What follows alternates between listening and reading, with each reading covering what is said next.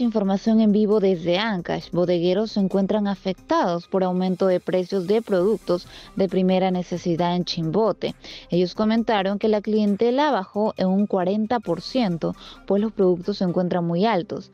Por ello, estos tratan de recuperar lo invertido.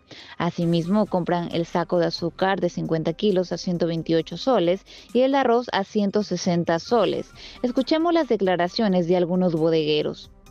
Ahorita ha subido los huevos, el aceite. La cela de huevos, por ejemplo, ¿cuánto usted lo compraba? Lo compraba dos, ahora está 13 soles. Realmente pues se vendía 500 soles. Ya vendía un promedio de 500 soles. Ahora 300 soles. ¿Antes cuánto estaban los huevos? 3 por un sol, de ahí subió a 50 céntimos, ahora 60 céntimos cada uno.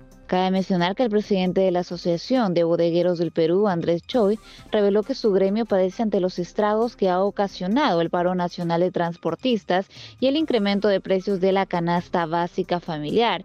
Indicó también que el bloqueo de carreteras ha ocasionado problemas en el abasto de productos frescos como el pollo y el huevo. Informó para Exitosa Perú Nadia Viera en Chimbote 90.9 de la FM.